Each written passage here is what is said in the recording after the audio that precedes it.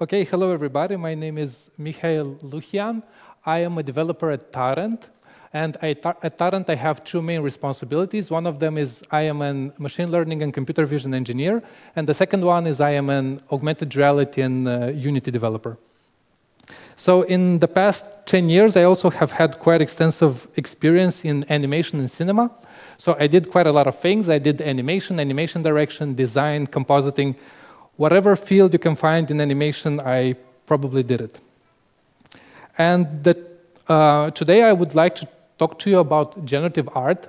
And uh, the main reason that I would like to talk to you about generative art is that for the first time in this artistic, um, for the first time in its history, generative art is finally making money. So this is, uh, and by making money, I don't mean like just a couple of artists selling their artwork. I mean like serious commercial projects that can develop, um, have a, um, that have a stable profit.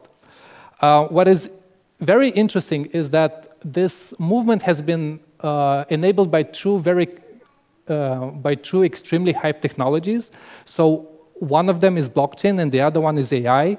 And I really find interesting how these two uh, technologies have intermingled with generative art. And so I, I, hope that through this talk you'll understand why this is pretty exciting and, and very interesting. Um, what I would also would like to, to speak about is how all of this intermingling um, works with copyright. So in general, generative art as a movement is very uncopyrightable. It is extremely hard to define some copyright rules for generative art. And then when you mix this thing with blockchain and, and AI, it gets even more complicated. Um, so I would like to, to speak about this in the, in, in the last part of the talk. Uh, in general, the layout will go like this. I, uh, first of all, I'll give you a working definition of what generative art means. Uh, in the second part, I'll, I'll, I'll, show a couple of projects that have been making money and have been uh, generating interest. And then in the last part, I'll speak about copyright issues and how all of this creates a couple of problems. And I'll also do a small art demo for you. Like it's, it's a really basic demo that, that, that would probably make all of my points a bit more clearer to understand and things like this. Okay, so then let me explain to you what generative art is. I think Wikipedia has one of the best definitions on generative art, and basically the, the, the, fundamental, the fundamental definition of this art movement is that instead of having an artist um, creating a piece of work, you have an independent system that, uh, that is, um, by its design, non-human, and that independently determines the features of the artwork. Uh, I'll show you a couple of examples in my next slides. But generally, the way people think about it nowadays is that you have an algorithm that generates some piece of art. So you've probably seen it in movies, in, in maybe in, uh, in modern galleries, where um, you, have, you have a computer that generates an image, but that's not necessary. You can have also um, a robot that generates an image, or you can have a chemistry project that generates some kind of a visual or auditory experience. And all of this falls under the umbrella of generative art. Um, generally, if you start searching online for this term, you would usually find two frameworks. One of them is processing, and the other one is called open frameworks. And these are kind of like the projects that made generative art popular. Uh, until the, the, 2000, the year 2000, nobody actually really knew about this art movement. And then once um, processing became really popular, you have, you have a lot of students uh, learning processing in their bachelor or master, uh, master programs. And so this kind of um, resulted in generative art being more popular. But, but even though it became popular, it still didn't really generate money. Like it, it, it took quite a lot of time until people found ways to monetize this art movement. Um, and, and this is what we'll speak about later. Okay, so here's a couple of examples. So all of this thing doesn't sound as abstract. These three guys, Manolo, Tyler Hobbs, and John Maeda, are kind of like the um, the most representative artists at this moment, especially um, this guy. He was named by, by, quite a few. He was named um, as the genius boy of generative art. And you can already see kind of like more or less the features of what makes this art movement different from other art movements. Like one example is the fact that you have a lot of detail in your images. Um, the other one is a kind of a very aesthetic that gears more towards design than painting.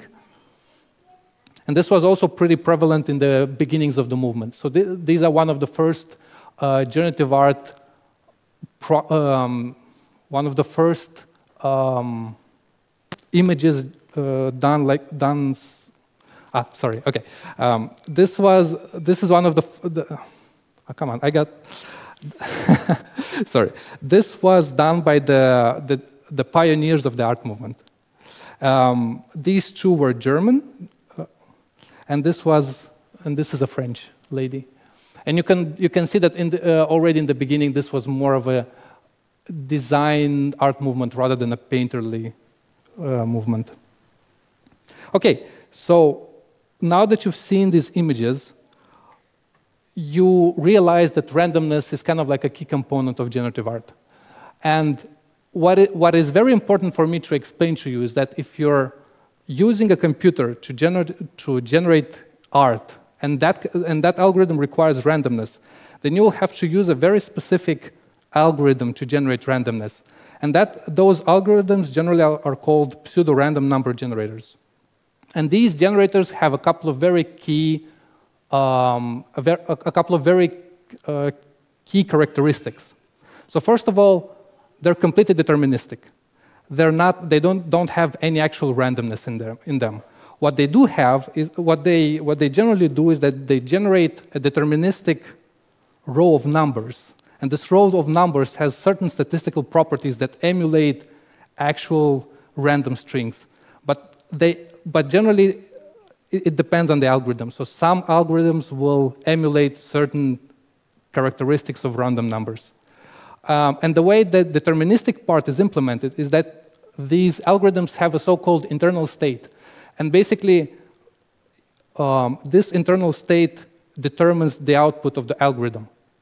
Um, so, so if you imagine that I am running the same algorithm on two or three computers, and all of them have the same internal, internal start state, then all of them will generate the same string of numbers.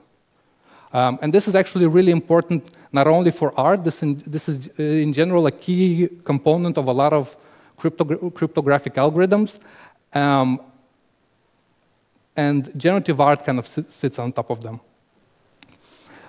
Okay, so then here's the, the interesting part. Because generative art uses randomness in its, in its process, in its generation process, then this means that, um, that when you're creating a piece of art, you're not creating one image. You're actually creating a distribution of images. And then depending on the internal state of your random, random number generator, you'll get a different image. And what this means is that uh, a generative art project is more like a distribution. It, it, doesn't behave like just one image. It is a group of images, and all of those images together specify your project. So if you, if you would look at these images right here, like let's say this one is a really nice example. Um, I can run those algorithms with different random numbers, and each time the image will look a bit different. Each time um, the squares will have a different rotation, or the, the fall-off will start at a different level. But all of those images together will, will, will constitute your, your generative art project. So the system is sometimes more interesting than the image itself. And this is kind of like one of the key points of generative art. You don't um, you don't think only about the image, you're also trying to understand the system from which the, the, the image came. Um, here's a different example. Like imagine those flowers there could, could have been drawn in a different order, and the image would have looked differently, but to you as, as the guy who looks at the image, you will understand that both of them come from the same world. They're, they're related, they're different and yet somehow very closely related. Okay, so then um, I'll show you a couple of commercial projects, and then maybe uh, these ideas will be more clear to you. Uh, more specifically, I would like to start with a project called CryptoKitties, and then, and then these images um, explain very well this idea of a distribution. So basically, in CryptoKitties, you have a distribution, a population of kitties. And all of those kitties look differently. So you can see that you have uh, some pretty standard kitties, you, you, have some pretty special kitties, but all of them are, um, you can clearly see that they come from the same place and from the same artist and things like, things like that. And so how does CryptoKitties work? Well, first of all, CryptoKitties is a blockchain um, application, which means that in some way or another, the, these kitties live on the blockchain. The way they implemented this is that the image itself is not on the blockchain. Rather, what is on the blockchain is the genome of the kitty. And the genome of the kitty is a 256 bit number that specifies how the kitty will look like. This is a very nice example. So you can see here, this is one kitty, and this is the kitty's genome, basically. And the, the reason you don't see numbers, the reason, um, the reason you see names instead of, number, uh, instead of numbers is that the users of the CryptoKitty website figure out um, how each number maps to certain features. So like they already know that uh, Siberian will generate a certain kind of a kitty with a certain kind of a color and things like that. So already you can see that the community is pretty invested in, the, in this project and they really liked it. And somebody actually had to spend quite a lot of money to figure out how the genome maps to the images. Um, what is, uh, sorry? Um, so just like to, to give you an example, like imagine the, the first bit of this 256 number is, is 1. Then this bit uh, can specify if the kitty has, um, has a flat color background or the background has some detail in it. For example, the second bit can specify if the kitty has um, I don't know, if, if the kitty has stripes or doesn't have stripes. The third bit and the fourth bit together can decide what's the color of the background and things like that. So this is one way um, you can map a genome, to, a genome to an image. Now what makes this project interesting is that you can breed the kitties. So imagine they're on the blockchain, you own one kitty, somebody, a different user owns a different kitty, and then you can breed them on the blockchain uh, and, and create a new kitty. And when they, they breed, the, there is a special genetic algorithm that mixes their genomes. So the, the new kitty will inherit some features from the parents. Some uh, the, the kitties will inherit some features from one parent, and some features from another parent, and plus a bit, bit of randomness just to make the thing a bit more interesting. And so th this is how you can, you can basically um, make the population bigger. And if I were to make a connection between what I said about distribution of images and genomes. Basically, the genome is the random seed of the pseudo-random number generator that draws the, these kitties.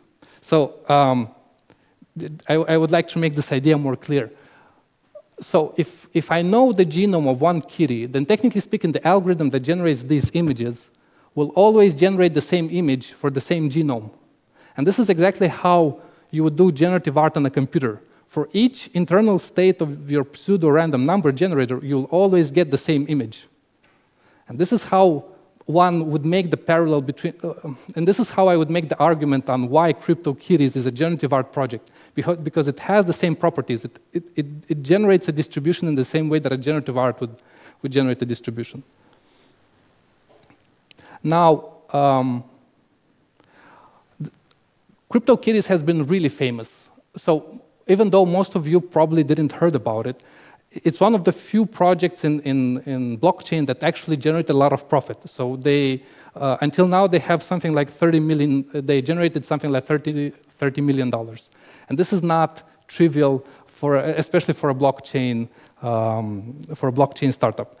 Um, and what they also did is that they started a kind of, somebody would call it a new generation of gaming, so there's been a lot of projects that have tried to emulate CryptoKitties' success, and most of them have kind of the same features. All of them need, um, all of them have a, a, gathering component, a breeding component, a collection component, and some way that these things interact with one another.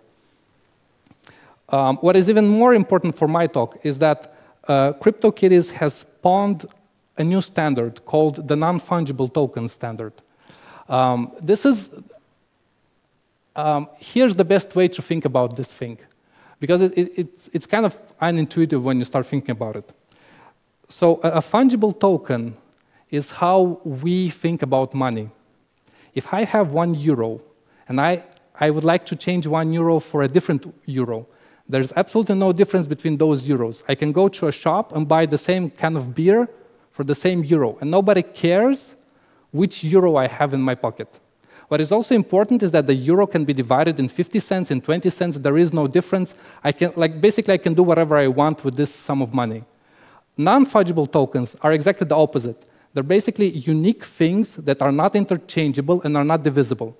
Um, the simplest way to think about it is like if you own a Picasso. That Picasso is unique, and if I have one Picasso, I wouldn't necessarily want to change it for a different Picasso. Or if I have, I don't know, a Van Gogh, it, it doesn't have the same value as a, um, as a Rembrandt or, or, some other painting. So all of, all of the paintings are unique, and um, changing between one, one to another is kind of complicated. There is no simple way to do it. Okay, so now um, I'll speak a bit about AI projects. You've probably read in the news that there have been people selling AI art for quite large sums of money.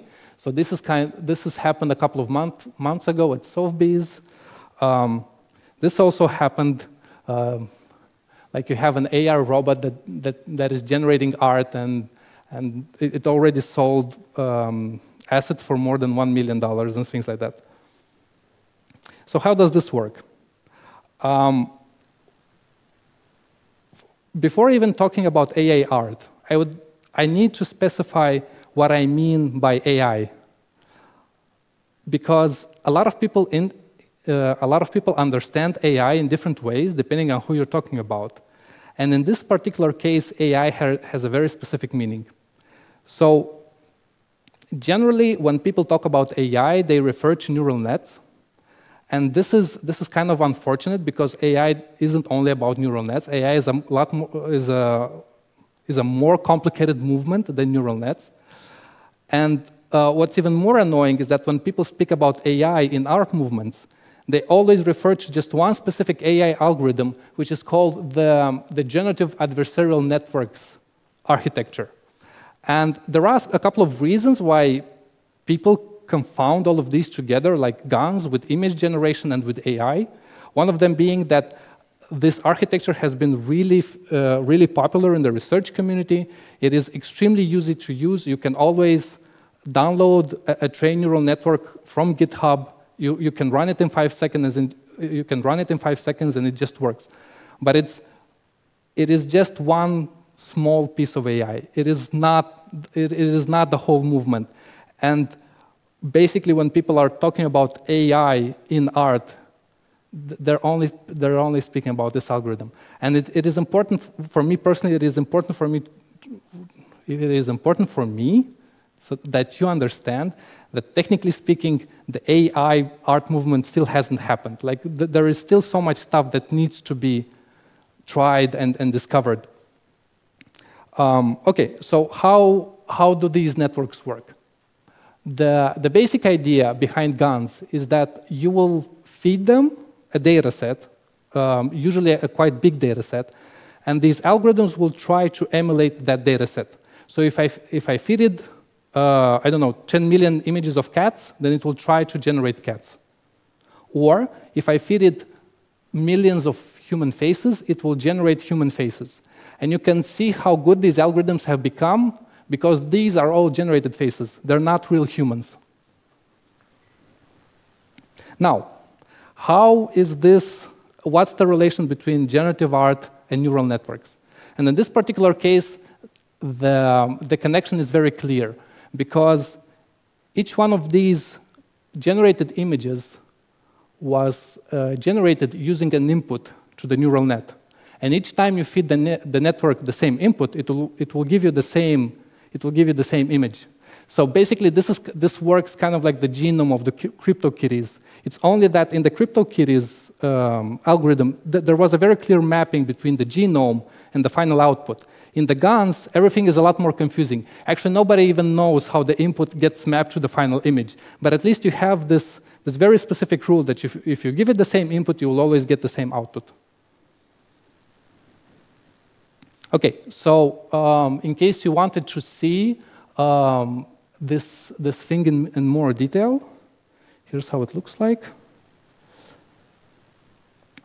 And now, here's what makes GANs special uh, when, when speaking about generative art. So uh, until now, most of, uh, most of the art generating code was written by hand. So if you think back about, uh, if you think back at the squares or at the flowers that I showed, I showed you a couple of minutes ago, all of those were basically hand coded in one way or another.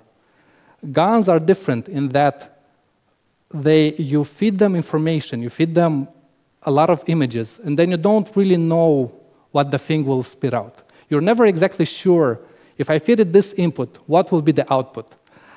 And the, the more diverse the data set, the more diverse their output.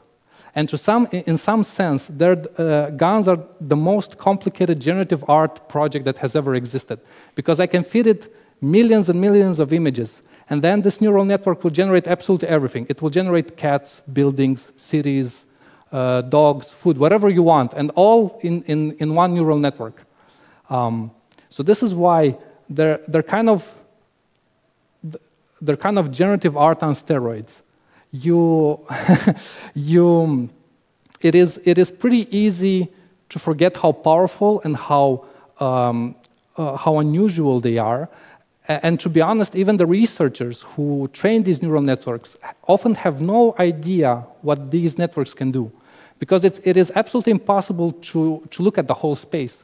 Um, for example, the, if, I, if I would go back to these faces, the input for each one of these faces was probably a, a 10, uh, an array of 10,000 numbers, probably sometimes even more. And so it is, you can imagine it is absolutely impossible to check all the possible configurations and to understand, okay, this point in space, this point, this point in space generally gives me a woman. This point in space and, and everything around it will generally give a man. This point in space is responsible for the glasses and things like that. It is, it is an, uh, an ongoing area of research. It is an ongoing area of research to at least understand how the, the input gets mapped to the output. But I can guarantee you that no researcher has any idea how this thing works. Um, what, what is also really important to, to explain about GANs is that the data set is um, the data set is key in more than one way. So th the architecture is really important, but the data set itself is also very important because if the data set has a certain look, let's say you have a data set that where all the photos were taken by a professional uh, photographer with a professional lens, then all of the photos in the, in the data set, uh, then all the, um, the photos generated by the algorithm will have the same look. And so if you have two people who train different architectures on the same data set, the output from those GANs will, be, will look the same. And so if you show them to, um, if, if, I show you two pictures from these, from, um, okay, sorry. So if I have two people, each one with his own net, everybody under, uh, both generate an image, and then I show, to, show them to you side by side, you might not be able to tell me, okay, this comes from this algorithm and this comes from, from a different algorithm. And so if you're planning on using GANs in creative, uh, for creative purposes, it might be hard to prove that what you're doing is different from what other people are doing. And this is like just, just, um, just scratching the surface of how GANs, um, uh, how GANs break copyright. But I'll, I'll, get, I'll get back to it in, in a couple of minutes. Okay, so now um, why, why am I mentioning copyright at all in these, um, in these two cases? So here's the, um, uh, sorry? Okay, so here's the problem. Uh, I don't know if you're aware of it, but when you buy a painting, like let's say you buy a Picasso, you actually have two rights associated to the painting. One of it is called the property rights, and the other one is called the copyright rights.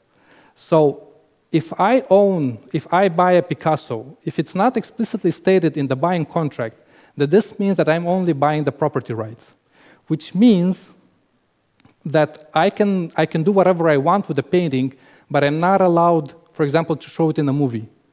Or I'm not allowed to make a photograph of it and then sell the photograph of it. This is a different set of rights.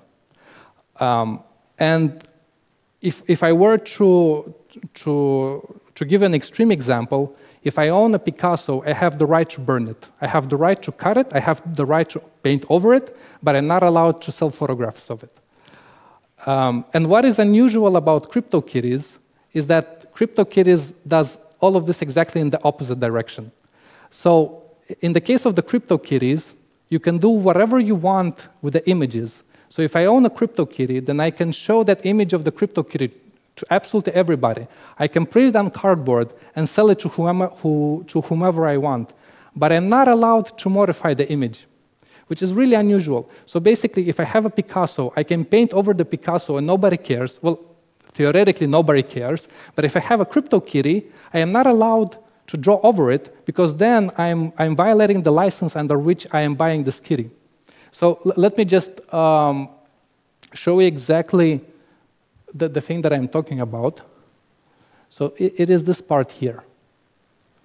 Ah, okay, this is better. So the developer grants me a non-exclusive, non-transferable license to use, copy, and display the art of the purchased kitty. But uh, I may not or attempt to do any of the following things, like, for example, modify the art for your purchased kitty. Uh, it's this part here. So now, like, just imagine a very simple use case.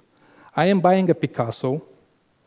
I am buying 100 Picassos. And then I'm putting those Picassos in a restaurant. Nobody has absolutely no problem with me. I can put those Picassos in a restaurant. I can, uh, I can uh, invite people in my restaurant. I can make money with, with this, no problem. If I own a bunch of crypto CryptoKitties, I can also put them in a restaurant. But as soon as I I somehow change their look. Like, for example, I don't know, I want to put all those kitties on a certain background, or I want to give a frame to all of those kitties, and technically speaking, I am not allowed to do this. So, which is really strange. What's, what is even stranger is that if, if, let's say, tomorrow the company goes bankrupt, and all of those images, um, if the company goes background, I will still own the genome of the kitty on the blockchain, but the images themselves can disappear and I would have no, no access to them. So they can basically delete all of their servers and, and, and I'm losing access to the thing that I thought I'm originally buying. Um, so basically, you have to be really careful about this. Ownership in this case means something completely different, uh, and you should be and you should actually read the terms of service to know that you're buying what you think you're buying. So this is one example. Okay, so now what's the problem with the whole AI art thing? Um, in general, if I, if I would have to speak about copyright and neural nets, this is a, this is a nightmare. Uh, this is in general a nightmare. The, the problem of copyright in neural nets is such a big issue, and at some point somebody will have to, have to seriously think about it, because there's all sorts of, sorts of rights associated to neural nets especially when you train neural nets and things like that. But what I would like to, to focus on in this, um, in this part is open source. And, and the reason is, is the following.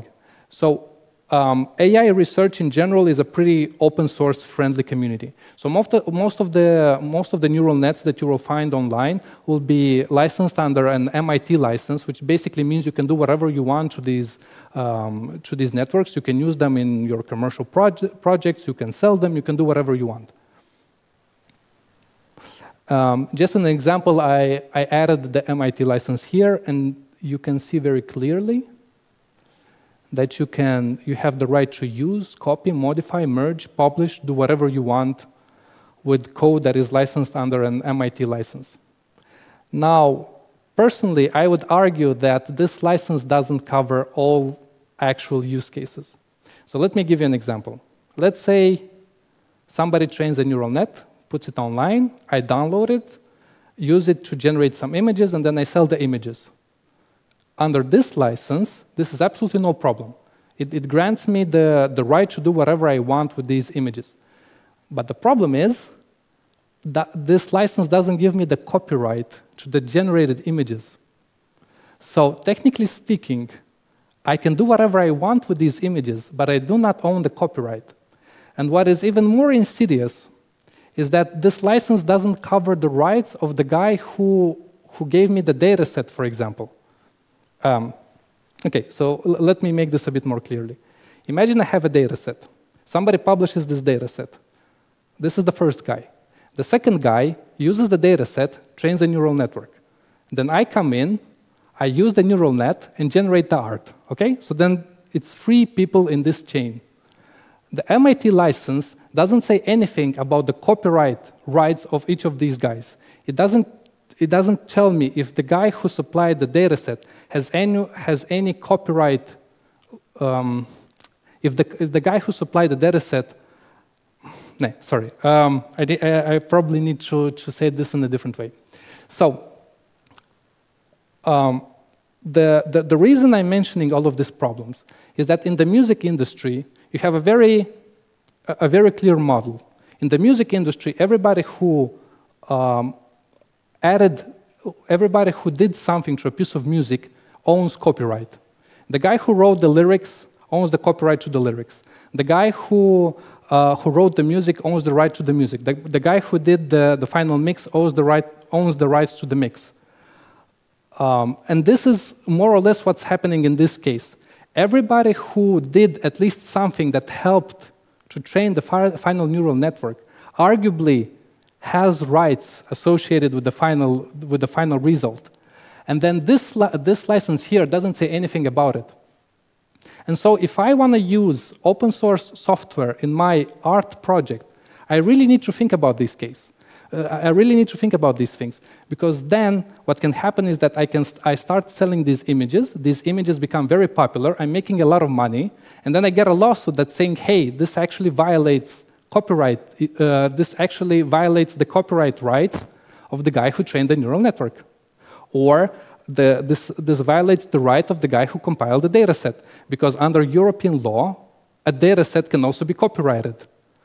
Uh, and so this creates a bunch of problems that licenses do not, um, that aren't handled by the licenses and can create problems if you want to use them in actual projects. And, and if you think I'm just inventing these issues, this is not actually what happened. So like, for example, uh, this image here was already uh, kind of created problems uh, of the same nature because the, the people who, um, who generated this image used code written by some other guy. And so then, once that guy saw that this image sold for $400,000, he said, okay, but why don't I have a piece of the cake? Because I also somehow contributed uh, to this piece of work. Uh, just a second. Um, okay, so then this is what I wanted to, to tell you about uh, generative art. And to make the things a bit more clear, I'll, I'll show you a, um, a, small example of how one would, would do generative art.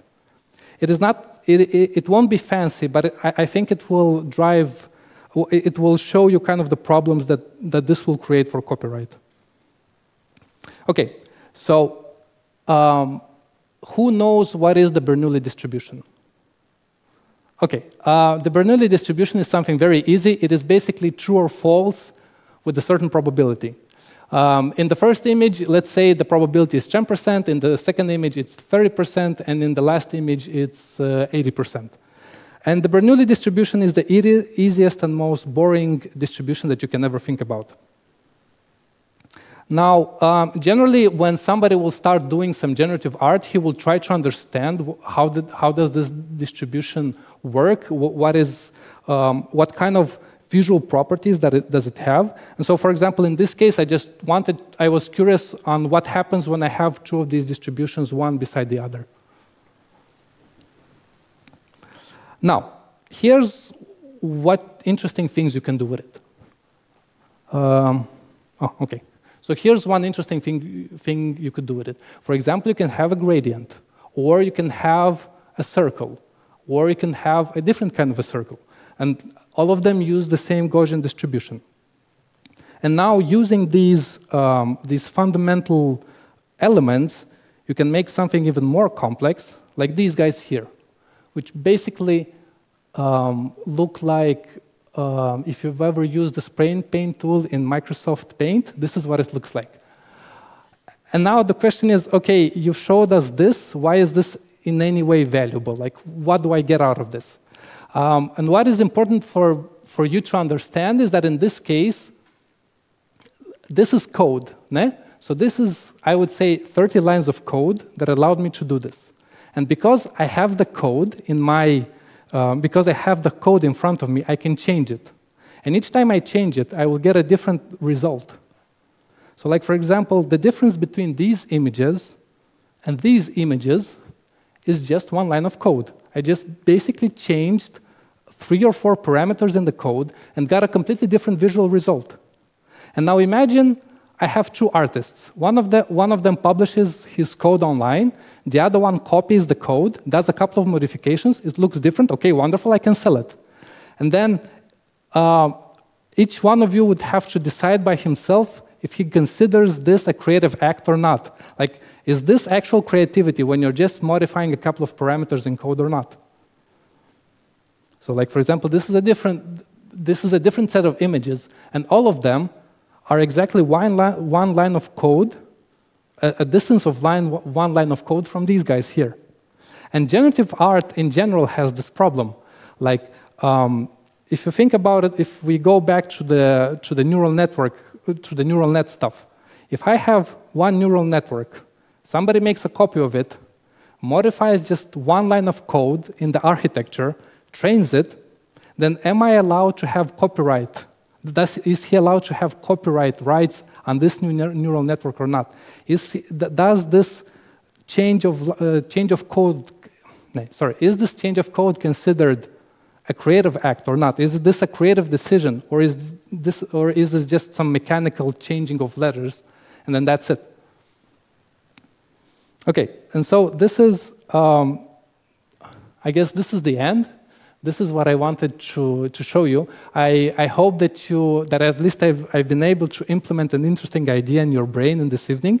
Um, and maybe you can think about it while, work, while going home, like, okay, how, what is your attitude on generative art? Like, what do you think about it? Um, if, if you have something that is, is, is done in code and not in, in manual labor, is this still considered creative? So does does generative art in general have a place in our society? Um, do we, are we interested in systems or are we interested just in these images?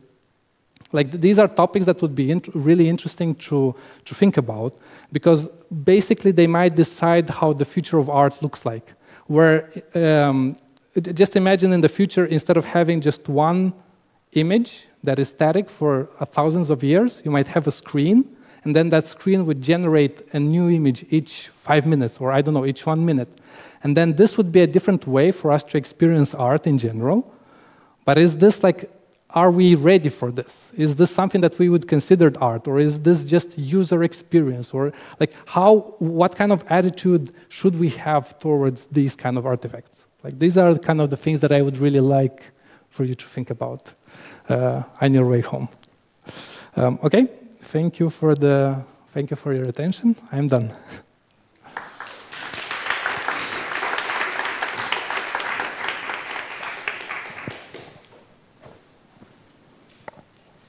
Um, thank you very much. Very confusing, but enlightening as well.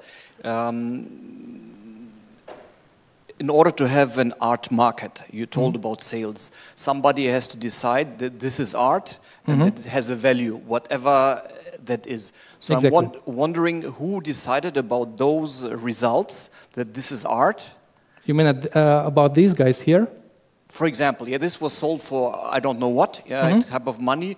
Um, who is the one who says yes, this is art, and the other one who accepts that it's art and pays for it? Now, what he or she bought, I'm still not sure uh, what has been bought, but at the end, you look at the result, mm -hmm and this is, makes you want it. I don't mm -hmm. think it's a code which makes you want it, or am I mm-hmm. wrong?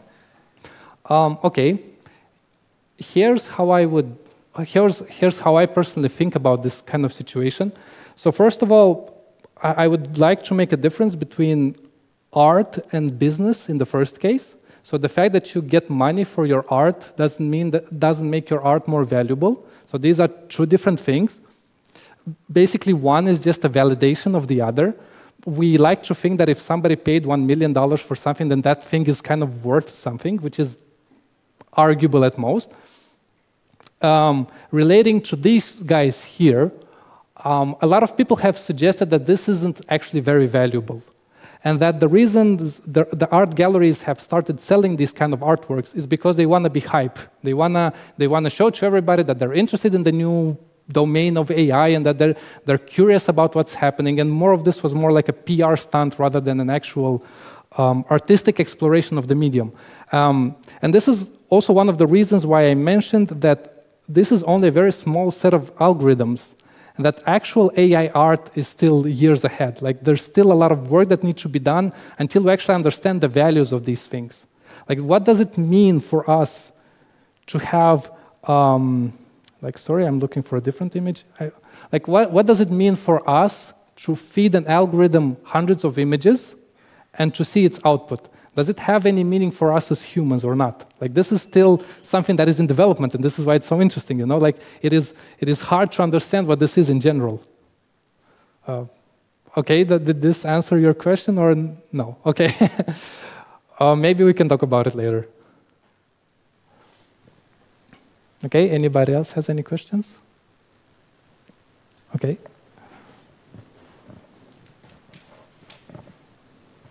When seeing the algorithms that generate each uh, um, mm -hmm. piece of art, uh, could you personally uh, have a taste? Uh, do you mean if you can have a taste for these things? To, yes. Of course. So personally, I love them. Like um, one, one compared to another one. For example, just uh, if you see the algorithm. Okay. So um, that is an interesting question, to be honest. Mm. You mean just look at the code and, and, and feel if the code has any aesthetic value? Okay, yeah. Personally, I would say that th this guy here has more aesthetic value than this guy here. Uh, and exactly because the code generates. Um, so here's how I would like to think about it. Because the code generates the distribution, depending on how interesting the distribution is, this is how interesting the code is to me. Because the code is the system. And, and I, uh, when you're doing generative art, you're, in, you're interested in the systems. So this is how I would think about it. Does that answer your question? Okay. it's like basically, okay, here, give, let me give you a different reason. Um, imagine looking at the, the engine of a car. You're interested in the engine because you, um, you want to know, for, for, example, when you're looking at the engine, you're interested in how fast does the engine work, how efficient it is, um, what kind of interesting properties does it have. And this is the same case here. Okay? Okay, then.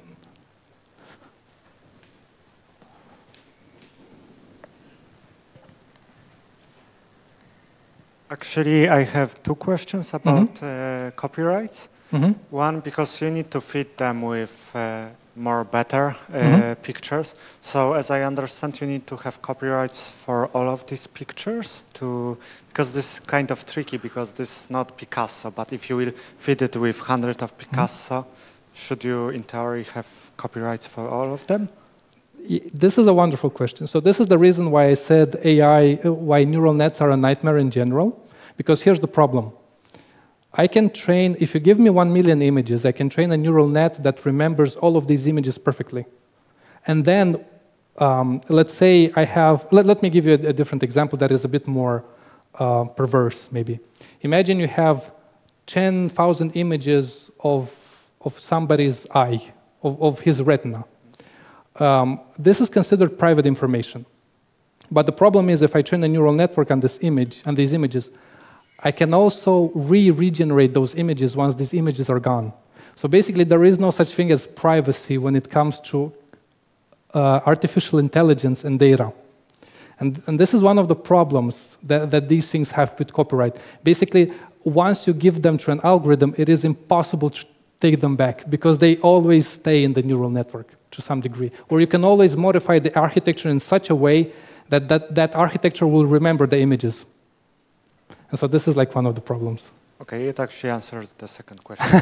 okay. It was about people's uh, pictures. So. Yeah, th this is a real problem. Like if you think about it, these guys, these guys look like somebody else. And then the question is, do those people have a right to privacy and a, and a right to their own image? Because this is actually something stipulated in, in copyright. I have an, a right for my personal image in the media. And this somehow violates that thing. Because now somebody can just generate one of these guys here, put him on a, on a commercial, and, and use that thing. And then it, it, it, it becomes really problematic. So definitely. Okay? Okay then, so thank you for your attention.